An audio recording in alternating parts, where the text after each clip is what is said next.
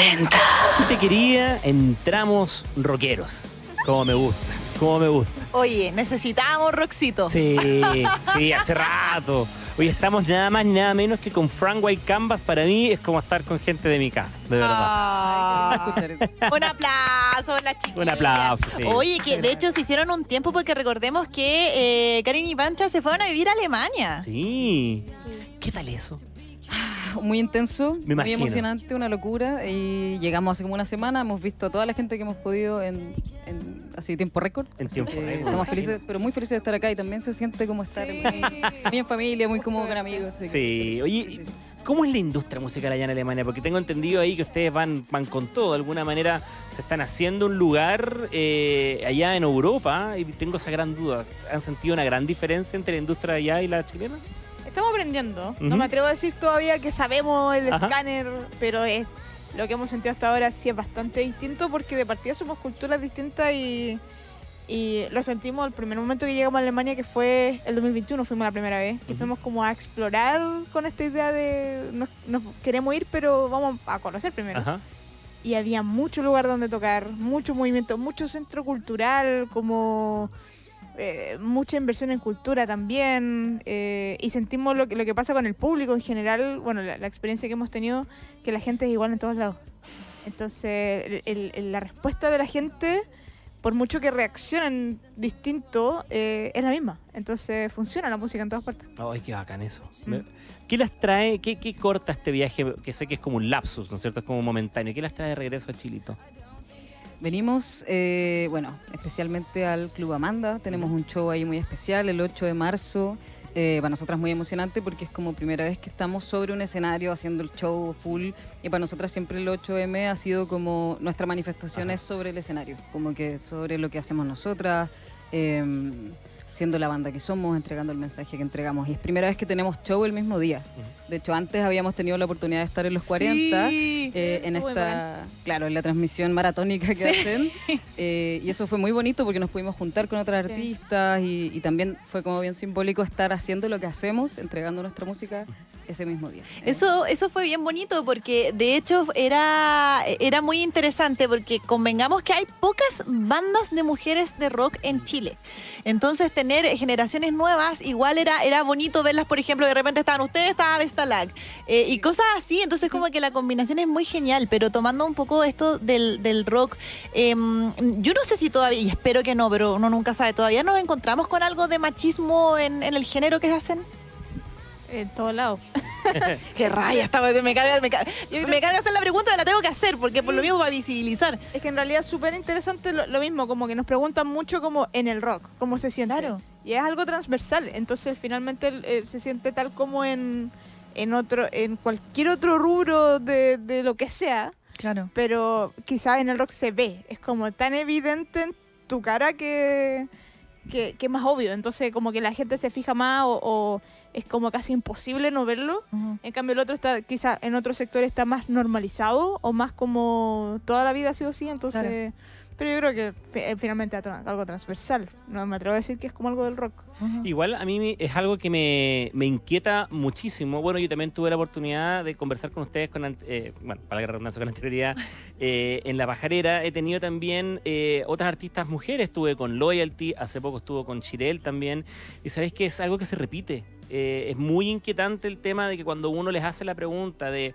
eh, incluso cuando yo le doy un espacio de tiempo que siento yo que es bastante amplio, así digo, "Ah, los últimos 25 años, ¿ustedes Claro. creen? Y aún así está residuo. Y tú decís, ya, claro, en 25 años han cambiado las cosas, pero no como deberían. Entonces, Claro.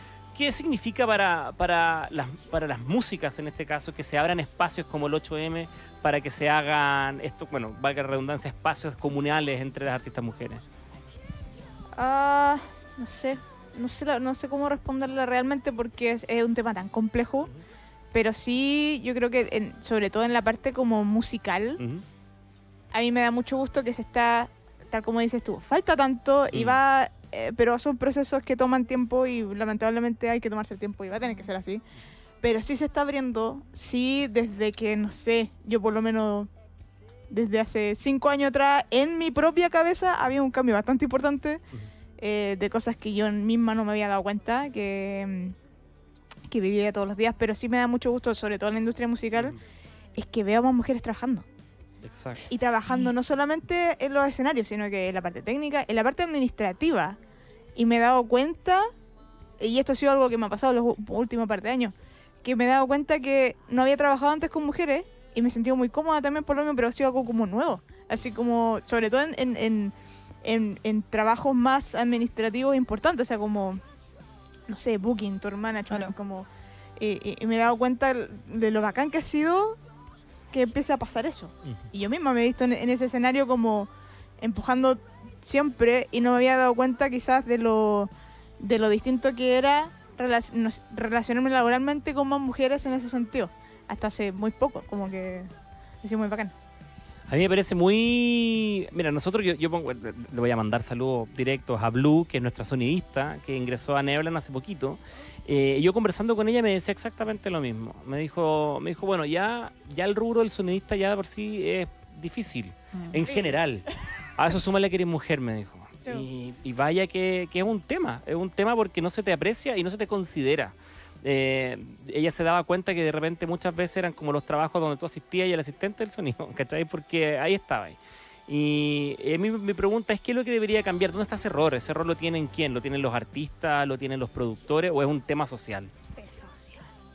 Sí, o sea, volviendo a lo mismo, yo creo que nosotros nos fuimos dando cuenta a medida que eh, íbamos avanzando. Era como, oye, en realidad no hay mujeres en nuestro equipo. Mm.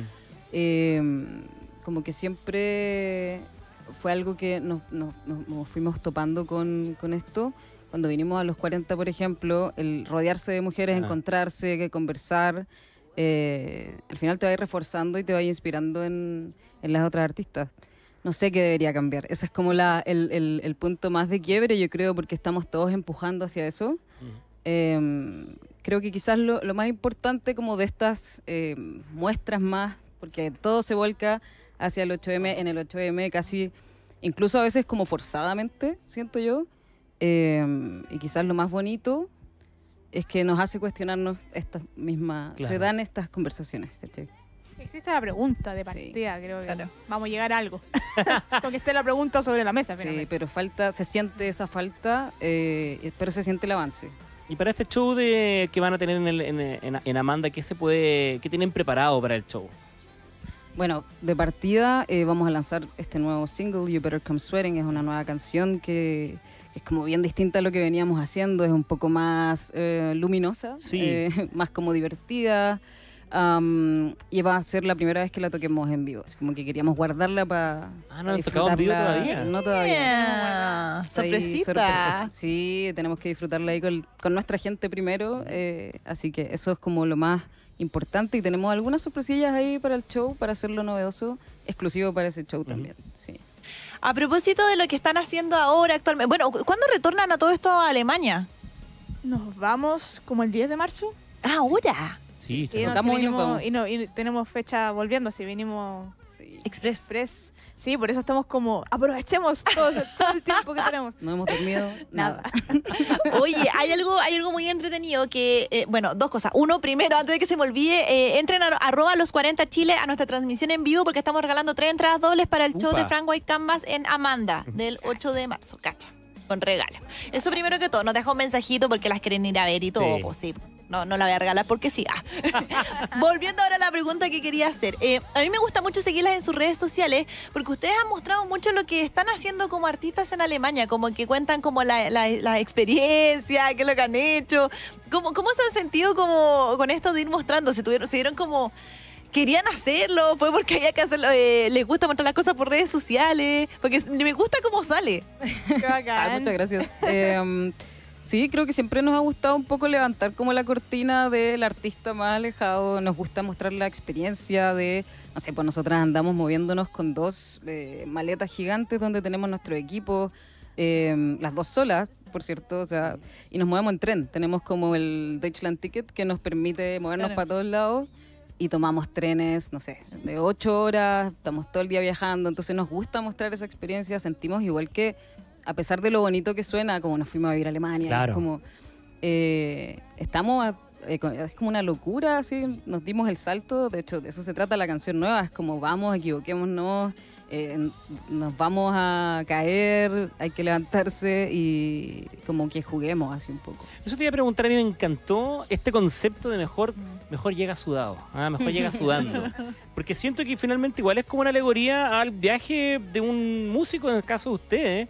Que más vale que el éxito te, te pille sudado, ¿o no? Entonces yo no sé eh, qué tanto se le han sudado allá. Bueno, se lo voy a preguntar, lo respondieron. Yo tenía idea que se viajaban en tren ocho horas para llegar. Tipo. Siento que eso es una... Como que siento que... Es que no, no quiero que suene mal, sino que me imagino que es como siento que es un trayecto que ustedes recorrieron acá y decidieron volverlo a recorrer, pero ahora en Alemania. Entonces eso me parece impresionante. ¿Cómo, ¿Qué es. llevó?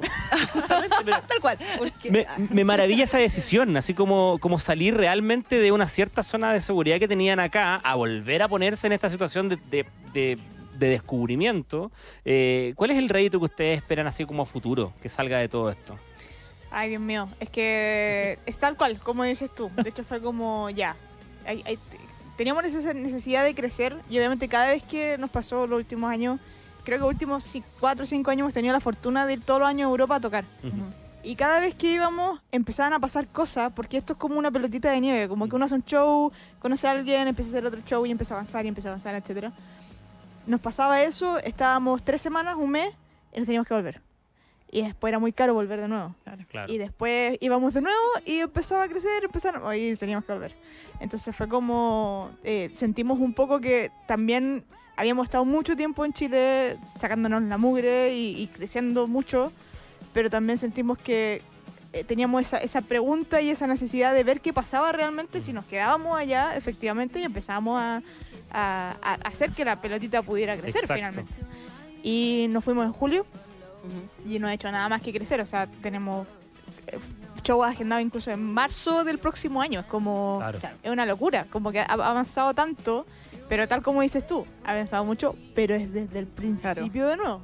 Sí. Y de hecho, algo que hablábamos, por ejemplo, con, con el booking que estamos haciendo ya, o sea, nosotros le explicamos, nosotros sabemos que tenemos que partir, aunque venimos con muchos años de carrera, venimos de cero. Claro. Y estamos preparadas para sacarnos la mugre de nuevo y vamos, así como. Para otras artistas, ya sea hombres o mujeres, ¿recomendarían ese el, el querer internacionalizar la carrera? Yo a veces siento que no existe mucho ese empuje acá en Chile de los artistas, como que siento que se enfocan, no sé si es algo bueno o malo, pero son súper así, vamos al público nacional y de repente no piensan tanto en, en internacionalizarse. Eh, En base a su experiencia, que yo sé que es fresca, ¿recomendarían a otros artistas pegar ese salto?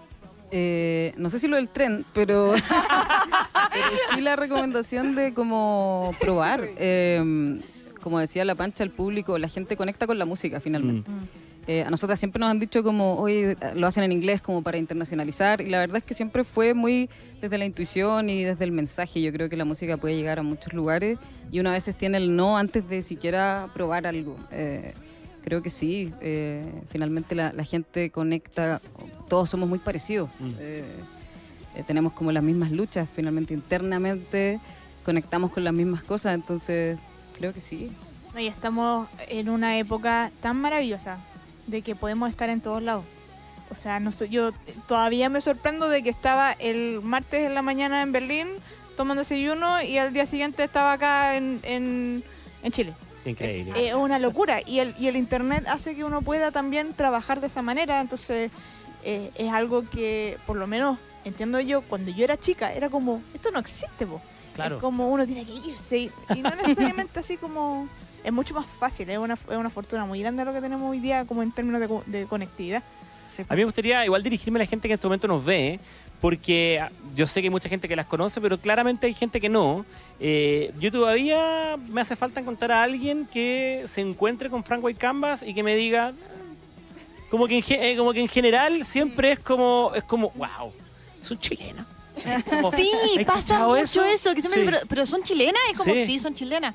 También me pasó cuando al principio era como, pero ellas, ¿de dónde son? Chilenas. ¿Cómo van a ser chilenas? Típica como que... Exacto. Tienen De chaquetear. Claro, como, como, no, po. A- Apenas nos ven en persona, creen que somos chilenos. Sí, lo creen inmediatamente. y es una, es una gran banda para que puedan introducir en sus playlists porque de verdad es refrescante. Yo sé que todo- todo- todos los tiempos tienen su sonido y Frank White Canvas creo que es un, es un sonido muy refrescante para lo que se hace hoy en día. Así que eh, ha sido un gusto, la verdad, aprender a conocerlas. Sí. Ah, muchas gracias. Hoy, chiquillas, muchas gracias por venir a visitarnos, por tomarse de su tiempo, porque, insisto, el viaje express, visitando a las familias, que vengan para acá. Les deseamos mucho éxito en lo que van a hacer en Amanda. Y, insisto, o sea, yo de verdad las admiro mucho de Muchas tomar gracias. todo de nuevo de cero, teniendo una carrera muy exitosa en Chile y decir, ¿sabes qué? Vamos a hacerlo de nuevo y lo vamos a hacer afuera. Eh, creo que también es eso algo que se puede aplicar en muchas cosas en la vida, así que creo que son un muy buen ejemplo y un bonito ejemplo para muchas mujeres también sobre todo, que de repente como que le cuesta más a uno, pues si para qué estamos con cosas, así que partir de nuevo, bien.